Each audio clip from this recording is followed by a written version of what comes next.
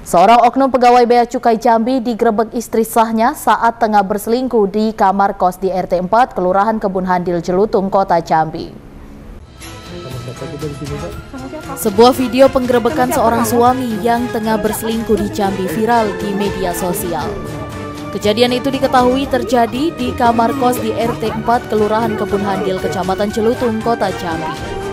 Tampak dalam video tersebut perekam video yang diketahui istri sahnya langsung menerobos masuk ke dalam kamar kos dengan didampingi pihak kepolisian dan RT. Saat hendak masuk, perempuan tersebut sempat dihalangi suaminya. Setelah berhasil masuk, ia kemudian menegur wanita yang sedang bersama suaminya tersebut. Pria dalam video tersebut rupanya diketahui berinisial WT, oknum pegawai Bea Cukai Jambi. Loh, gimana caranya saya?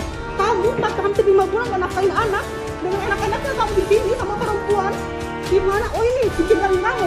Cincin kami kita mana? Cincin kami kita mana? Mana? Tunjukkan sama aku mana? Oh masih punya malu kamu mbak. Oh masih punya malu kamu.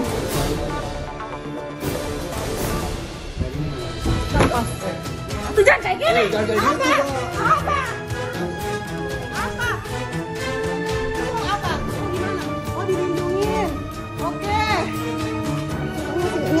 Pernyataan kamu yang buat, kamu yang buat kan di atas materai kan, kamu harus ingatkan.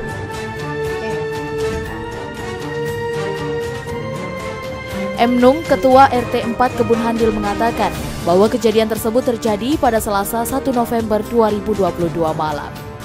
Bahwasannya saat itu seorang perempuan berinisial RA yang diketahui berasal dari Makassar, Sulawesi Selatan, datang bersama Babinsa dan Babin Kamtipmas untuk memberitahu bahwa suaminya diketahui telah berselingkuh di salah satu kos di wilayahnya.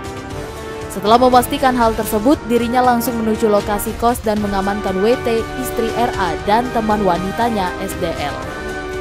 M. Nung menyebut bahwa saat penggerebekan pria tersebut sempat panik dan wanita yang tengah bersama pria tersebut tengah berlindung dalam selimut. Dua, dua malam yang lalu, eh, kebetulan Pak Babin saya datang ke rumah membawa seorang perempuan yang nama Risma dari Sulawesi Selatan. Katanya dia sudah mencurigai ada suaminya selingkuh di wilayah RT kami, yaitu di kosan Rosalia sehingga waktu itu kita minta bantuan dari Polsek Geludung. Datang sekitar empat anggota. Kemudian ditambah ada bantuan dari kantin Mas Palmera sekitar orang 10 memang benar ada di gerbek. Dan ditemukan berdua dalam kamar setelah kejadian itu, pria berinisial WT dan teman wanitanya berinisial SDL diamankan di Mapolsek Celutung.